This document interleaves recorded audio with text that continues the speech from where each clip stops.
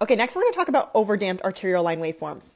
Again, I talk about all this and so much more in a much slower pace in my ICU crash course, which is linked in my bio if you want to check it out.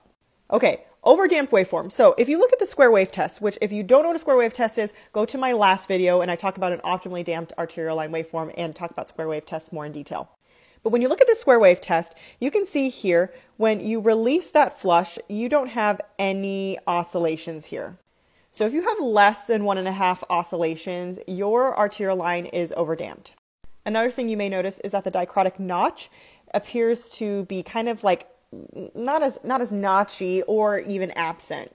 In an overdamped waveform, you're going to have an underestimated systolic blood pressure and an overestimated diastolic blood pressure, giving you a falsely low blood pressure overall. So if you perform your square wave test and you see this, know that your blood pressure is not giving you an accurate reading. I'm going to talk about some causes of overdamped and underdamped waveforms in a whole other video and how we can troubleshoot these things, so stay tuned.